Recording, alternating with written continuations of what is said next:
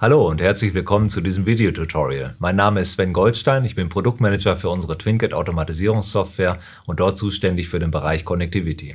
In diesem Videotutorial möchte ich Ihnen zeigen, wie Sie eine erste Inbetriebnahme von unserem TwinCat OPCOA Gateway durchführen können.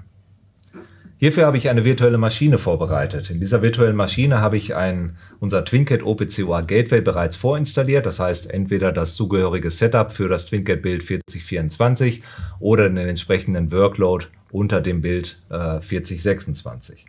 Das Gateway installiert sich automatisch als Windows Hintergrunddienst und Sie haben hier so ein kleines Icon im Windows System Tray und finden dort entsprechend das Gateway vor ähm, und Sie können dann über das Kontextmenü das Gateway entsprechend konfigurieren. Das heißt, hier gibt es einen Eintrag Administrate UA Gateway. Und hier haben Sie eine Konfigur Konfigurationsoberfläche für alle Einstellungen des, äh, dieses OPCOA Gateways. Das Gateway äh, verbindet sich mit TwinCat OPCOA Servern. Das heißt, es ist vorkonfiguriert äh, für, für einen lokal laufenden TwinCat OPCOA Server, falls jetzt in Ihrem Fall ähm, der OPCOA-Server vielleicht nicht auf demselben System läuft, sondern irgendwo remote im Netzwerk, müssen Sie entsprechend hier die Server-URL anpassen. Das zweite, was Sie anpassen müssen, ähm, ist entsprechend ähm, der Benutzer, mit dem der TwinCat OPCOA-Server initialisiert wurde. Hierfür gibt es ein separates Videotutorial ähm, für die erste Inbetriebnahme von unserem TF6100 OPCOA-Server. Ähm, und darin wird halt noch einmal erklärt, wie Sie den Server initialisieren und mit einem Benutzer entsprechend konfigurieren. Das heißt, hier müssen die entsprechenden Benutzerdaten des Servers auch hinterlegt werden. Sofern das erfolgt ist, ähm, können Sie dann entweder ähm, hier über dieses Plus-Symbol weitere Server hinzufügen oder auch natürlich entsprechend äh, Serverkonfigurationen anpassen oder diese aus dieser Liste auch entfernen. Wir wollen nun zwei verschiedene Arten von Clients einmal mit dem UA Gateway ähm, sprechen lassen und äh, entsprechend damit verbinden. Das heißt einmal einen OPC-UA-Client ähm, und des Weiteren noch einen OPC-COM-DA-Client, denn das UA Gateway hat ja auch den Fokus, dass wir äh, dort quasi eine kostenfreie OPC-COM-DA-Schnittstelle zur Verfügung stellen. Und wir fangen einfach mal mit dem OPC-UA-Client an. Das heißt, ich schließe jetzt hier den Konfigurator und als Client verwende ich den OPCOA Sample Client, den wir mit, auch mit dem TF6100 ausliefern und diesen finden Sie im Windows Startmenü. Das heißt, hier finden Sie unter Backoff den Eintrag TF6100 OPCOA Sample Client. Wenn wir den Sample Client starten, können wir hier eine Endpunkt-URL angeben, von, in diesem Fall von unserem OPCOA Gateway. Das läuft auf demselben System, hat hier nur eine, einen anderen TCP-Port und zwar verwendet es standardmäßig den TCP-Port 48050. Ich kann mir meine Endpunkte zurückliefern lassen von dem Gateway und ich verbinde mich hier gleich mit dem ersten Endpunkt, der mir zurückgeliefert wird. Ich klicke auf Connect, selektiere den Anonymous Login. Das Gateway hat zunächst einmal äh, keine Benutzername-Passwort-Kombination, die ist benötigt für, den, für die Verbindungsherstellung. Das kann man natürlich äh, konfigurieren. Ich starte die Verbindung und kriege gleich einmal eine Fehlermeldung zurück. Failed to connect to OPC Server, bad security checks failed.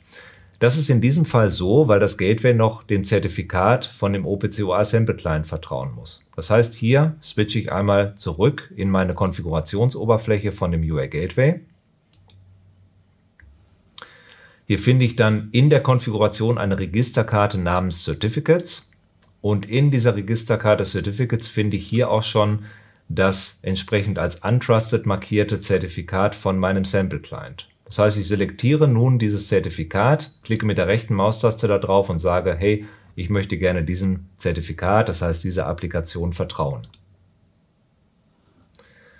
Jetzt schließe ich den Konfigurator wieder vom Gateway und starte einfach mal einen neuen Verbindungsaufbau in meinem Sample Client. Selektiere mir als Identity Token wieder den Anonymous User, klicke auf OK und bin nun mit dem Gateway verbunden. Jetzt kann ich durch den Adressraum des OPCOA Gateways hindurch navigieren und finde hier auch einen Eintrag für meinen TwinCat OPCOA Server, der ja letzten Endes unterlagert auch läuft und die Daten für das Gateway bereitstellt vor. Das heißt, hier kann ich nun auch in den PLC1 Namespace hinein navigieren von dem TwinCat OPCOA Server und sehe dort, aha, der stellt mir in seinem Main Program bereits eine SPS-Variable bereit.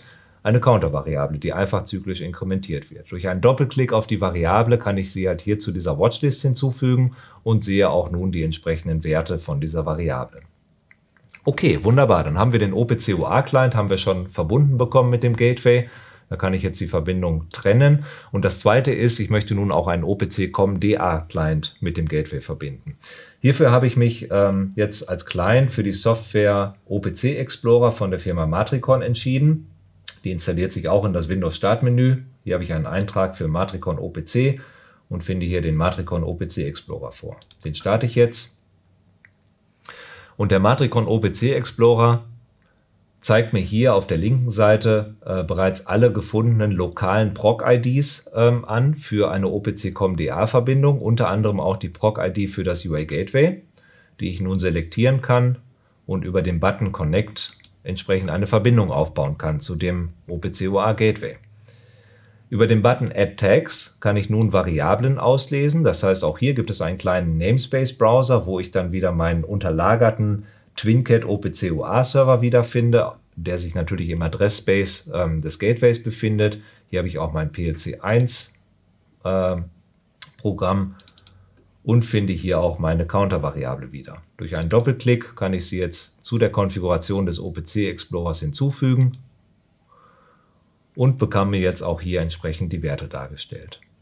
Das war schon alles. Das heißt, das OPC UA Gateway bietet zwei Schnittstellen. Einmal über OPC UA, hat so ein bisschen den Fokus der Server-Aggregation. Also wenn ich jetzt mehrere TwinCat OPC UA Server ähm, durch das Gateway sozusagen, vielleicht durch eine Firewall oder durch ein NAT-Gateway entsprechend ähm, publik machen möchte, dann kann ich das mit dem Gateway tun. Oder ich möchte vielleicht einfach eine, eine alte OPC-COM-DA-Schnittstelle bereitstellen, ähm, dann kann ich auch hierfür das Gateway verwenden. Unterlagert befindet sich in diesem Fall aber oder in beiden Fällen immer ähm, ein Twincat, einer oder mehrere Twincat OPC UA Server. Vielen, vielen Dank, ähm, dass Sie mir zugehört haben, dass Sie sich dieses Videotutorial angeschaut haben. Bis zum nächsten Tutorial. Machen Sie es gut. Auf Wiedersehen.